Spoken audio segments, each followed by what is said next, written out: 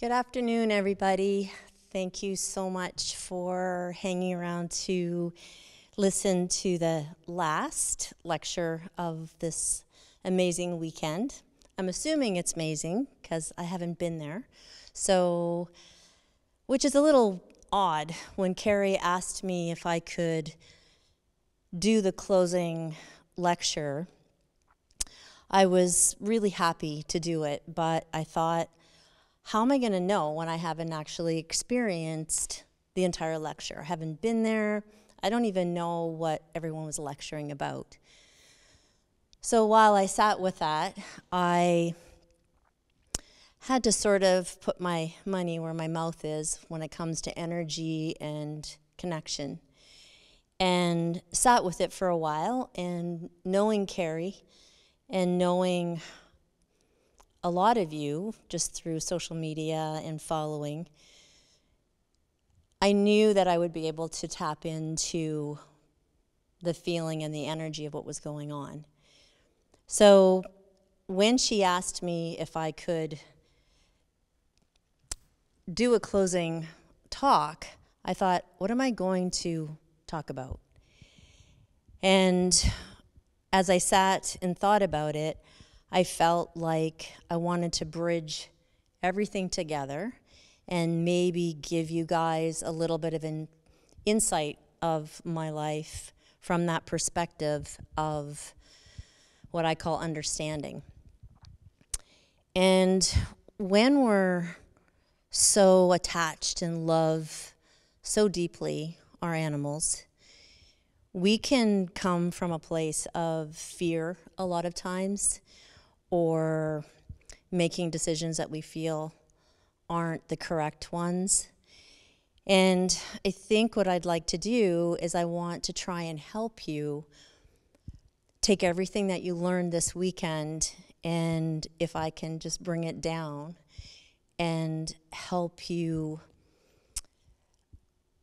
bring it all together synergistically where it's it's not just tangible but it becomes energetic. So I decided to do the lecture on something called knowledge, wisdom, connection, and understanding.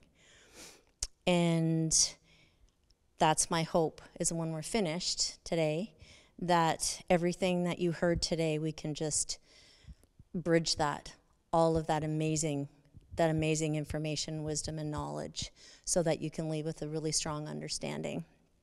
So thank you, Carrie. I wish I was there so I could hug all you guys and, and be close to you, but this is the next best thing. So, one of the phrases that I use a lot is that we're drowning in information, but we're starving for understanding. And what that means to me is that I'm a scientist, I'm a complete research nerd. I have been in practice at my hospitals for more than 25 years. I was in conventional medicine for longer than that. So, that knowledge and that information that we get through science is incredible. And it's really important, and it helps us to form our information and our, and our understanding, but it's not that. And I feel like it's brought to the world of holistic medicine or natural medicine or natural healing a lot of solidifying where if someone is needs that science base they can feel more comfortable in it from a perspective of the microbiome, which is one of my specialties, it has been hugely important and really, really helpful in bridging that gap between something that we've known for a very long time and something that is truly peer reviewed and science based to make people feel more comfortable. Another thing that I say is that the most primal yet most critical contributors to global health and the health of this planet is bacterial organisms. Their collaborative power to sustain longevity is unparalleled to anything humanity has ever known. That sounds intense because it is, because for the longest time we always felt like bacteria was our enemy. And what we've realized and what I'm realizing even more and more studying bacteria is it's far from our enemy. And the science is showing us that in fact, that's true, but it's still, for me, we're on a slippery slope. When we use science to justify our wisdom, we can be in a place that is outside of what wisdom is all about science is there for us to feel more confident and to be able to support people that have the philosophies that things have to be science based. But what I'm realizing more and more as a scientist and as someone that um, spends a lot of time with my business in nature is that if we go too far to that one side, we're going to actually lose the wisdom that comes along with it. So, what is wisdom? This is a Zen garden, and I'm not even going to pronounce this second name because I think I'm going to do it wrong. But it has been passed down through generations and our ancestors or your ancestors or whose ever ancestors to create a meditative, calming space in order to connect to the wisdom that's out there. Another example of this is the ocean and the moon phases. I personally I live on the ocean and where I live it has been a tradition for a really, really long time to plant and harvest and grow crops with the tides and with the moon phases. Then Western culture came into effect, and productivity and mechanisms and mechanical intervention and sterilization of food and sterilization of the soil became the thing to do, the science backed way to grow and harvest and plant our food. But then in the last 10 years, probably 20, we've realized that that situation is not very healthy. And that by doing that, we've removed some of the most important things that give ourselves and our animals health to thrive. And that is, it's become void of not just the vitamins, the minerals, but it's become void of the bacteria. And what the bacteria does is it actually not only gives the, the energy and the wisdom to the food, but by ingesting it, it gives the, bac- the bacteria actually gives that energy and wisdom to our gut microbiome in order to be able to even convert that food into nutrients. So, a lot of people are going back to wisdom and not just staying s- stuck or in that science box. When it comes to herbs and it comes to what we're planting, this is, uh, this is something that I learned very young from my grandmother that I am exploring more and more. And that is my grandmother used to plant um, chamomile plants between other herbs and between vegetables and things like that, amongst other lots of other ones. But I'm using the one chamomile because I'm sure most of you understand and know that plant. So when I said to her, Grandma, why, why, why do you do that? She said, because this plant supports and soothes the other plants as a community or as a family, because growing in nature and drought and sun and heat and harvesting can be traumatic. So she was taught by her grandmother, because her mother died very young, to make sure that we call it now companion planting. And the companion planting gives way to something that my grandmother knew a long time ago, and I subscribed to very young, which is called plant intelligence.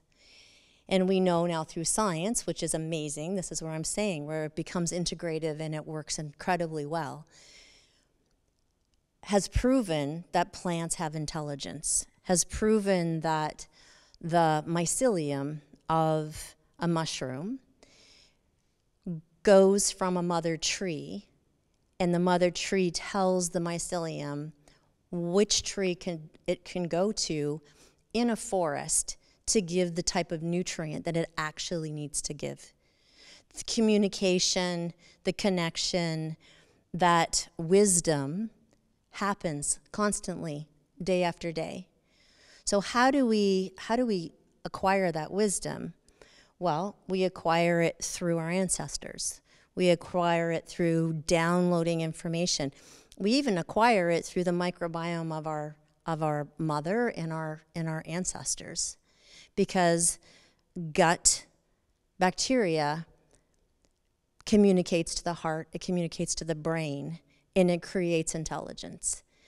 So, though we have the science to back it now, it's been used and it's been proven to work, and it's been this incredible downloading of knowledge and information and education that that equals wisdom.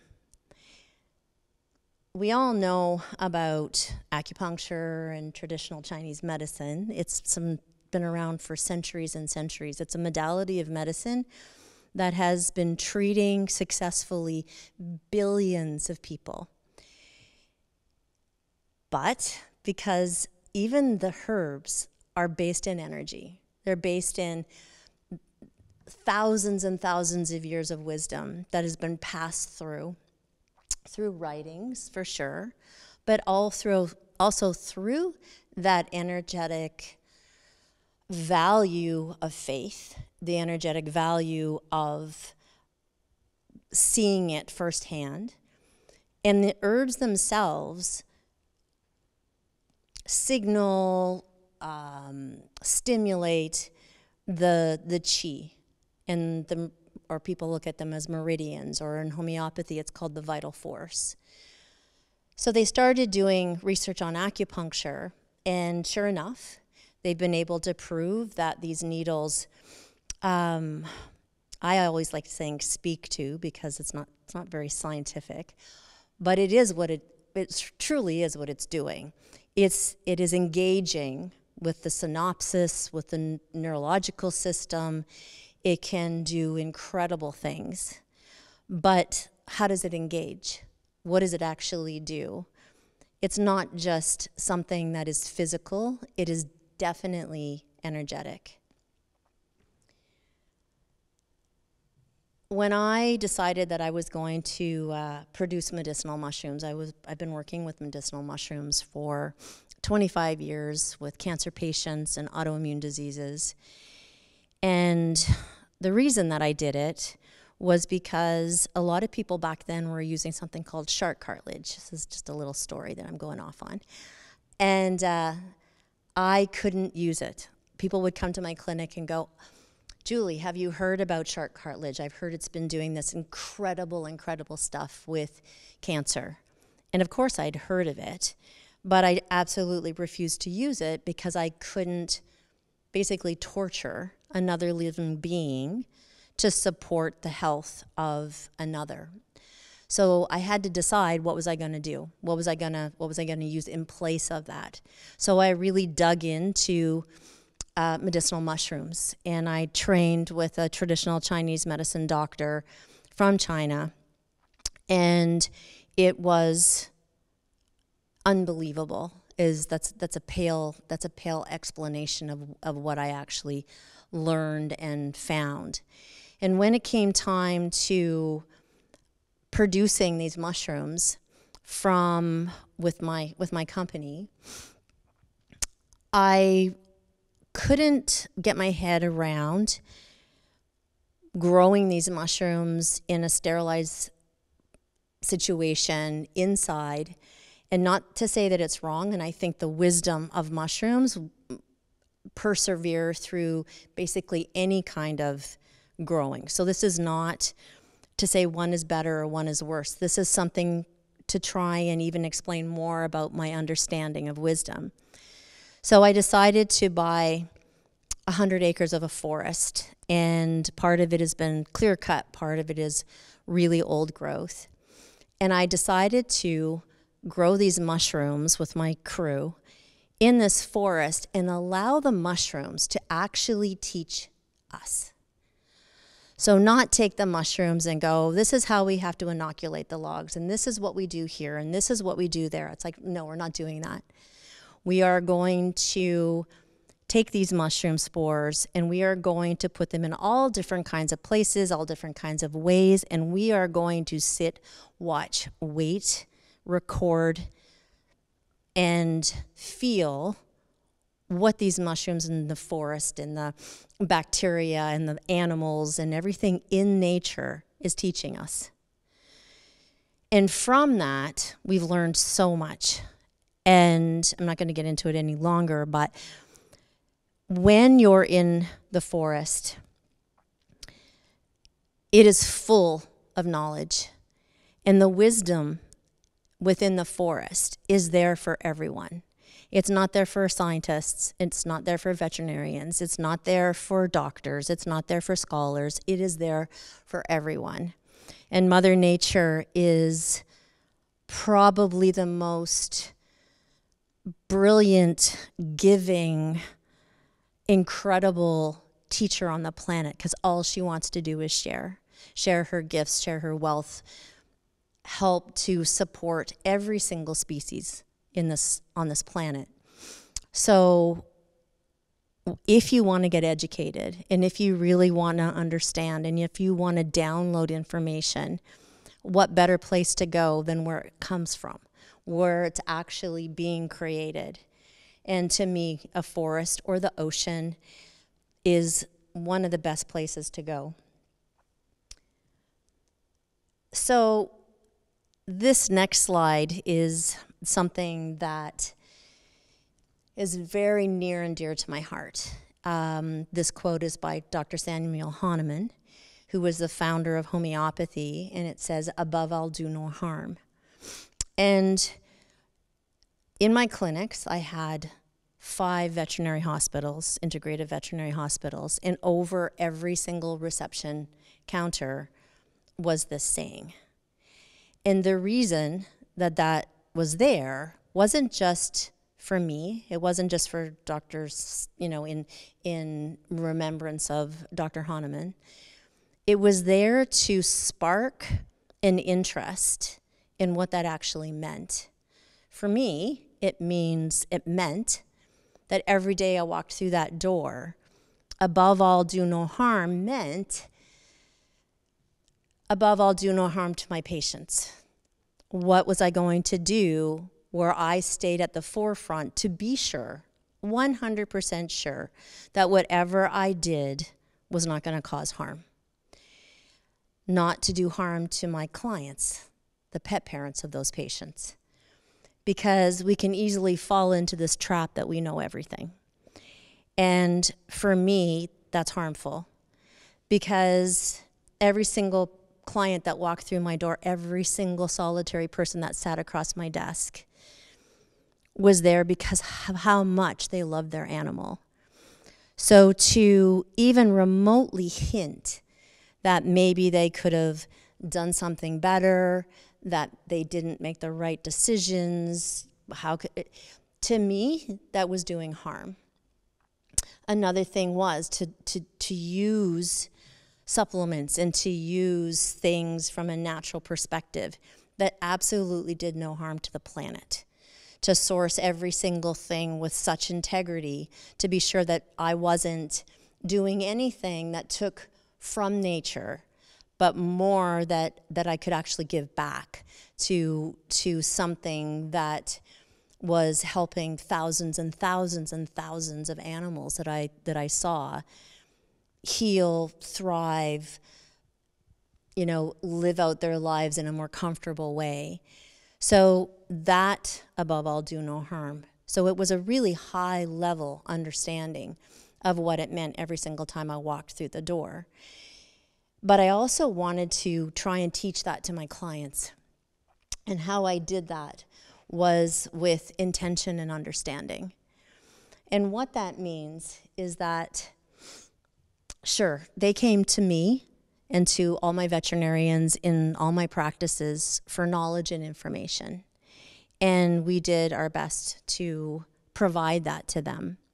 But one thing that I always did and still do is that I always would say to them how smart that they were how intuitively they knew their animals better than I did, better than any vet did, better than anybody.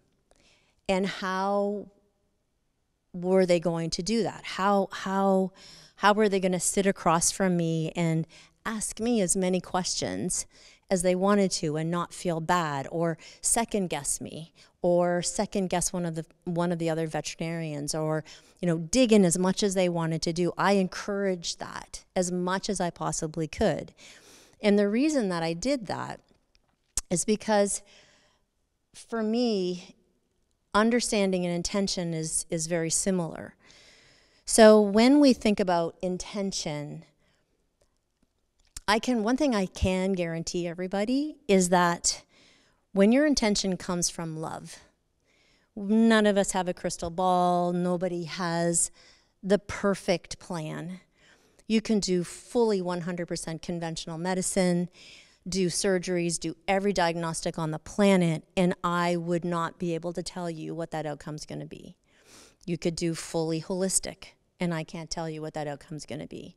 You could do an integrative approach, and I can't tell you what that outcome is going to be. But what I can tell you is if you sit down and you have that intention that comes from your heart, and you sit with how you want your animals to live, and what is your philosophy, and what from your heart without fear, because that's a big one what is coming from your heart without any fear. If you make your decisions based on that and the outcome, you're going to give your animal the best gift you could possibly give them because animals thrive on love. And it's why we love them so much because they have unconditional love. The love that they give to us is unparalleled by anything. So when you're making your decisions from your intention, what I would say to people is sit and get grounded in your philosophy, not what you think your philosophy should be. Not your philosophy, oh, I need to be fully holistic or I need to do this or I do it doesn't matter.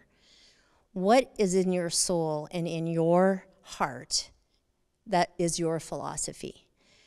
That when you make those decisions, even if the outcome isn't what you want, it came from your heart and it came from this deeply grounded space where there won't be guilt.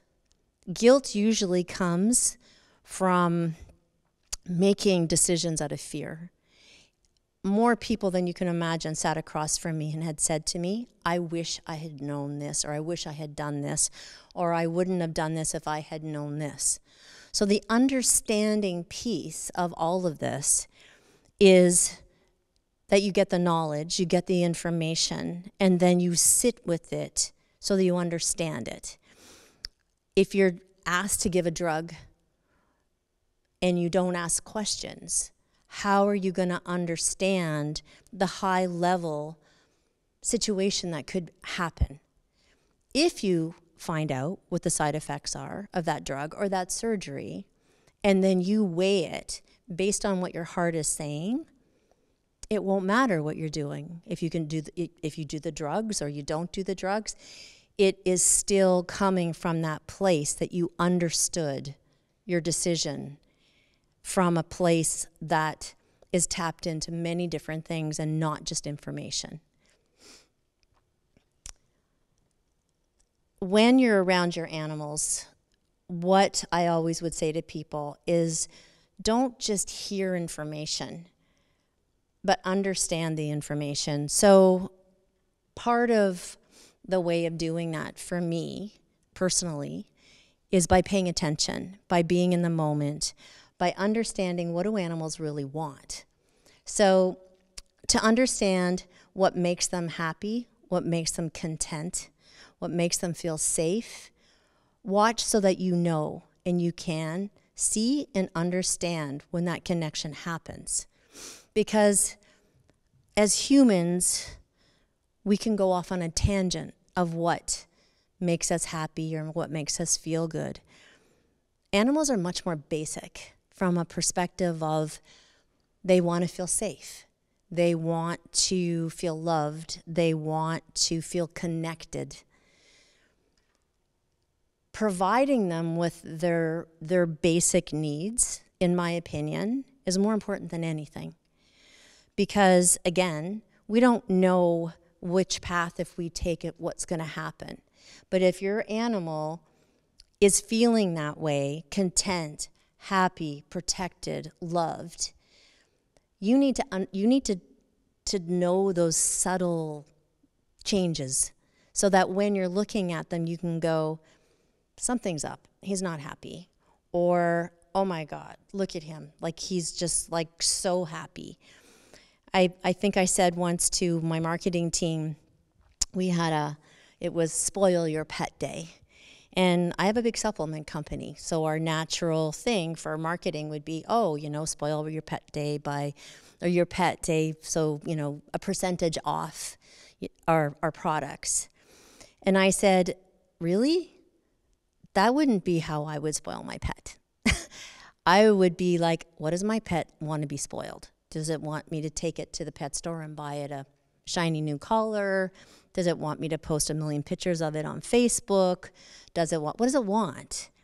All my animals would want me on the floor, rolling around with them, getting in the dirt, going for walks, being brushed, being cuddled. I mean, there's a gazillion things that my my animals would feel they were being spoiled without purchasing something.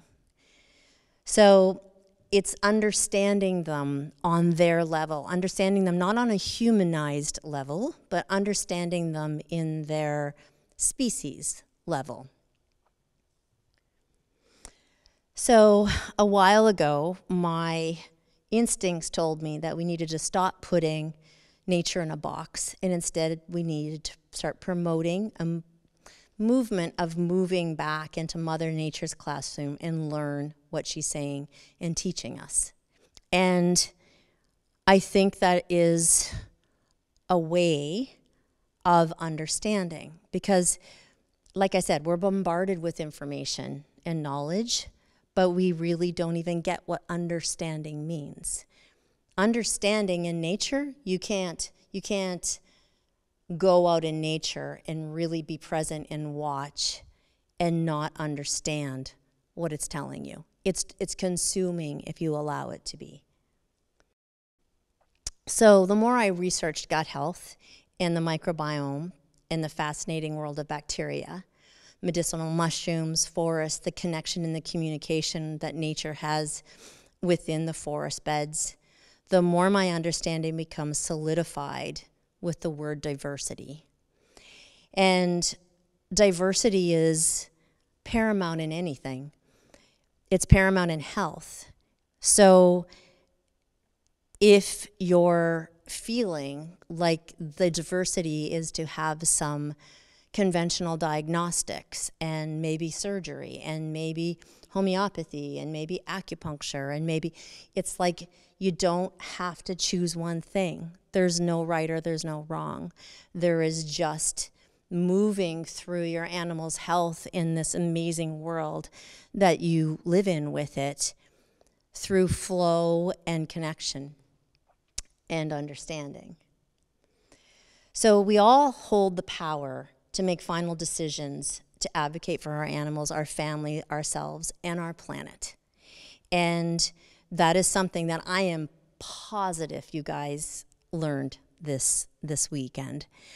And that is something that is is not something that we're taught every day that we hold the power for our own health or our own health or our planet's health or our animals' health or our family's health.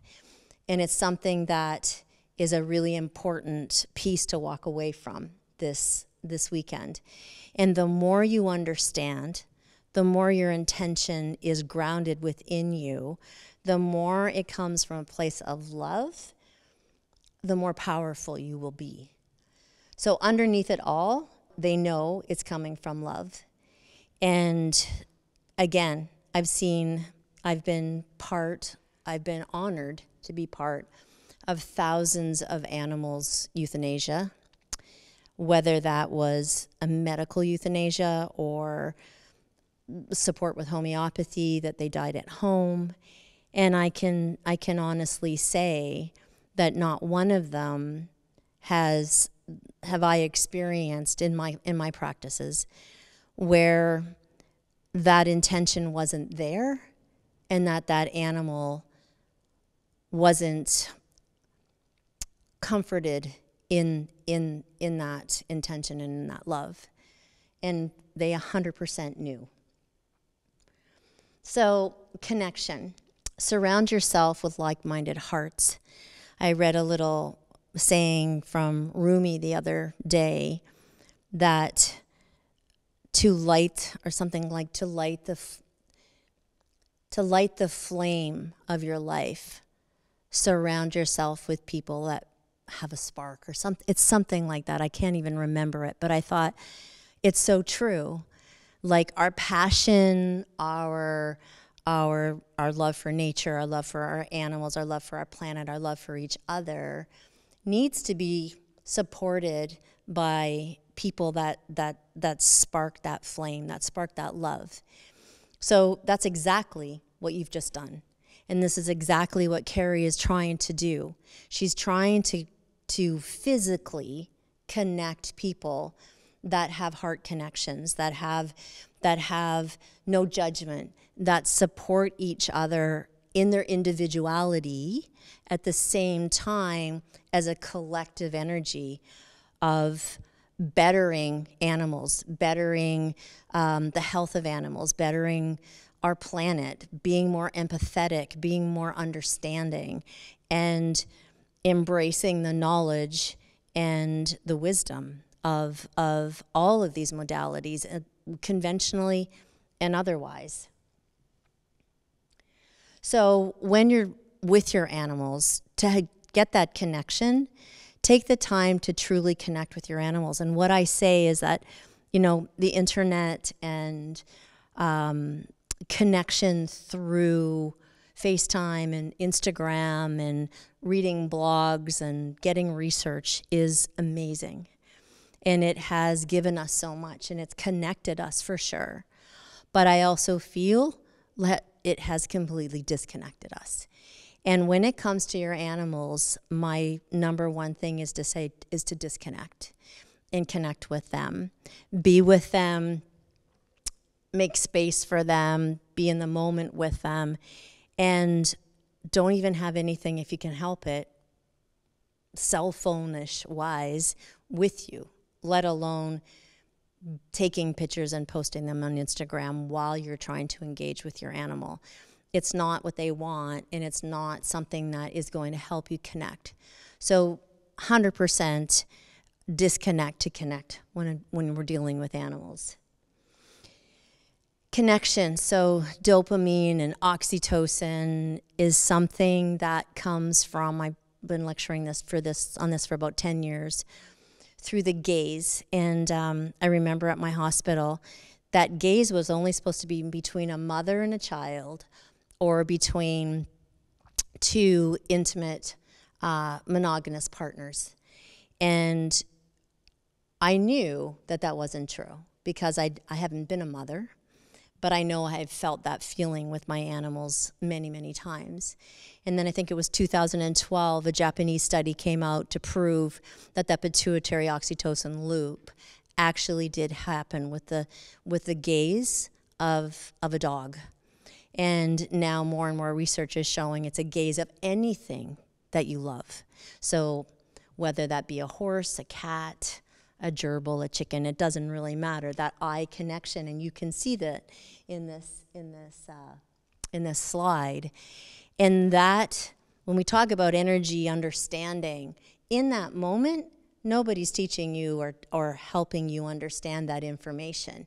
In that moment, that wisdom and that connection and that surge of hormones is just happens. It's it's a it's a phenomena that's in our bodies, in my opinion, to create health, to continue thriving, because we've proven through science, peer reviewed studies, that oxytocin can help fight cancer, can help prevent cancer, can decrease anxiety and, and uh, depression. So, this hormone, which is free, is just based on love and being not distracted, or else you can't do it. Being in the moment and connecting with a loved one, and, and everybody out here sitting and watching this, that loved one is definitely our animals. So, connection with our veterinarian, and I'm sure you guys heard tons and tons and tons about this this weekend. But I particularly like this slide because of the circle goes into the heart of the woman and the heart over the dog. And then the, for me, him having his hand reaching out is this olive branch of knowledge. And I have been in this industry for a long time and I have, you know, I started volunteering at vet clinics when I was 14 years old. And uh, some of my very best favorite people on the planet are veterinarians. And, you know, they're getting a really hardcore rap, and I understand why. But I think to shift that perspective of it not being the person, but possibly the industry, and how difficult it must be for them in this day and age, and, and, and what's put on to them to, to do and to um, achieve is astronomical. So, part of, for me, working with your vet is when you go through that door, do your homework, find your intention, feel what you want to happen before you walk in that door. Come through that door with that intention of, above all, do no harm, which is also not judging your vet. It's also giving yourself a break that you know as much as he does or she does. It's just different. It's it's it's aligning the wisdom, the in, intuition, and the love of your animal that you have been born with, and ancestors have passed down to you. We just haven't had that moment to understand that and connect the dots. But when you do, and you walk through that door, that should be that a synergistic connection where you're getting the knowledge and the information and then the wisdom, intuition, and understanding that, that you have produces this incredible result for, for, for your animal. And that has to come from a place of practicing. And I would suggest that you practice that a lot because when there's an emergency and you're flying through that door, freaking out in fear. I don't know how many people meditate, but it's like when you've meditated on something long enough, you can stand in it no matter how scared you are. With a few breaths, you can you you tap into that again. The same thing will happen with your with your intention of always what you want to do from a health perspective with your pet. Without a doubt. So you just come in, you're freaking out, every available moment that you can, you tap into that stuff that you've been practicing. So this picture again is just that that connection. Now, I want to try to bring this all together in these next few slides. And how I'm going to do that is with horses. And I know that not a lot of people out there have horses, but I have a very large horse rescue farm. And I want to just tell you a little fast story about when I know that understanding, connection, wisdom, and knowledge has been regained in these horses. So, the horses that I have, they don't come to my farm unless they have PTSD, so post traumatic trauma. And um, when they come, they're usually really dangerous. And they're usually really dangerous to themselves and to people. And they're a couple days away, if not moments away, from being euthanized, shot, or sent to slaughter. They're in pretty rough shape. And horses, unlike our dogs and cats, are animals that are preyed upon. So they're eaten. And our dogs and cats are prey animals. So horses have this very strong intuitive nature of that 100% is tapped into through their ancestors because they learn by they learn by doing things. They learn by falling off a cliff or they learn by stepping on a snake or they learn by running into a tree. Well, if every single horse had to do that to learn, we wouldn't have the evolution of horses. So somehow that that understanding and that knowledge gets tapped into when they're born and by being with their mother and learning and watching. But when they come to my farm, the majority of that's gone.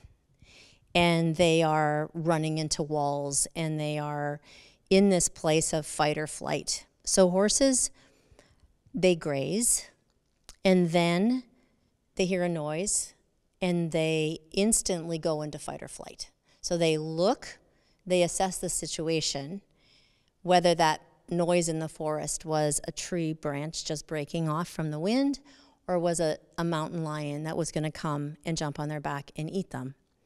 And within those brief seconds, through senses, through smells, through sight, through their very large energy sphere, they decide what they're going to do. They're either going to run, they're going to fight, or they're going to go back to grazing.